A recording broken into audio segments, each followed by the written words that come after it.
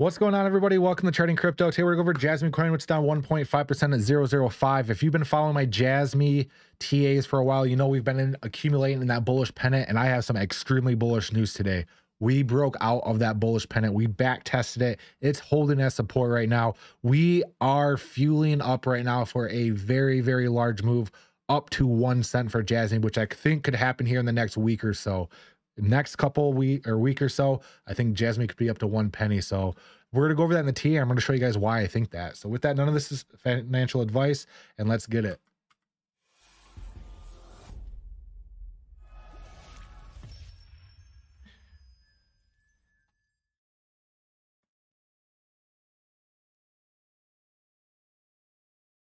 All right, Jasmy Moon boys. I got some hopium for you. I hope you're ready. Lifelong downtrend for Quant, or not Quant, for Jasmy is gearing up to be broken. And day chart, what we're seeing on the day chart is we broke out of our bullish pattern right here. We're back testing it as support right now. If the support holds and this is green and this, this downtrend support holds, Jasmy is going to be making an explosive move to the upside. So, we did enter our long on Jasmy down here at 4.9. We did get out at 5.3. We're currently back testing that 5.3 area. If we do see a support bounce off of this, I would be entering a long on Jasmy and we would be going to the absolute moon. We're going up probably a 2x here. So not financial advice, but a good long on Jasmy could be very, very profitable right here. I would do it on BTCC exchange if I were you.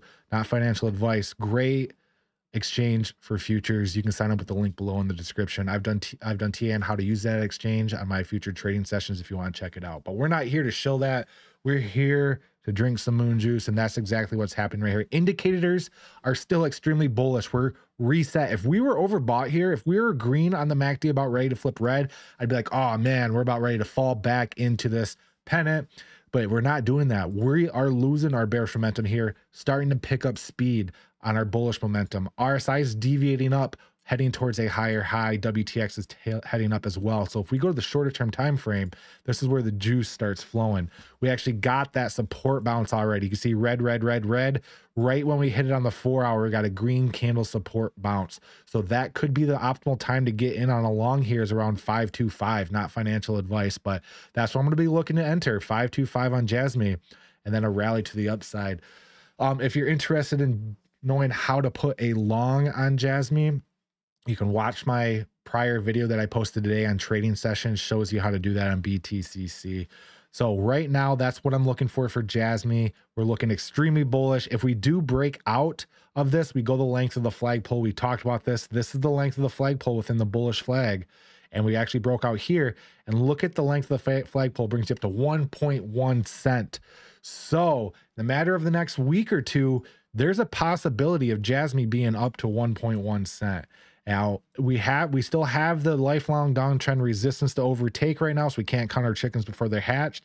So if we get over this lifelong downtrend, that would just be a confirmation that we're heading up to a penny. So right now, I think the next main resistance to focus on is this lifelong downtrend, but breaking out of this bullish flag like we currently are in just means we have a ton of fuel in our tank.